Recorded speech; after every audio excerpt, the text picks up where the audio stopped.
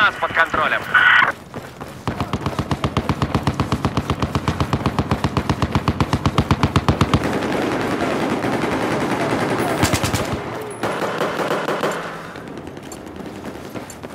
Цель Чарли только что была нейтрализована.